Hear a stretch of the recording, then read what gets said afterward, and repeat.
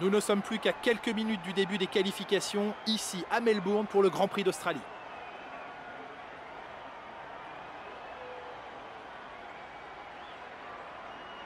Voilà un circuit qui, d'après des pilotes bien plus expérimentés que moi, ne fera qu'une bouchée des pneumatiques arrière.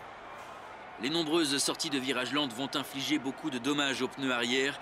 Il est très facile de survirer en effectuant une sortie trop agressive. C'est toujours spectaculaire et nous aimons tous voir une monoplace pousser au-delà de ses limites. Mais c'est aussi incompatible avec un bon chrono.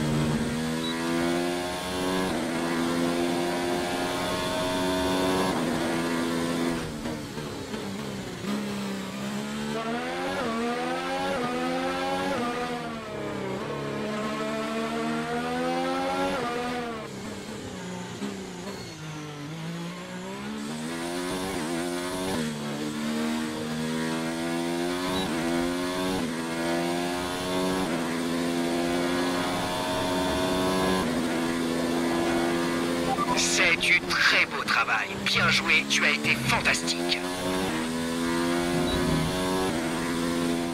Tout est prêt pour la course de demain, mais avant de commencer, regardons rapidement qui sont les premiers pilotes sur la grille. Pelletier, Hamilton et Sébastien Vettel. Et voilà qui met fin aux qualifications, mais ne vous inquiétez pas, nous serons de retour dès demain pour vivre ce Grand Prix.